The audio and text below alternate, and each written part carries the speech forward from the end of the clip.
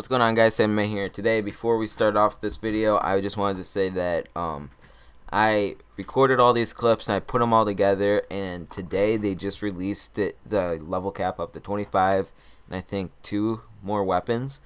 So, but today, like, I don't really have enough time to get all up to level 25 and get all the weapons recorded and everything. So, if you guys want me to put that in a different video, feel free to leave a comment down below, but this is up to level 20. So, yep, enjoy the video.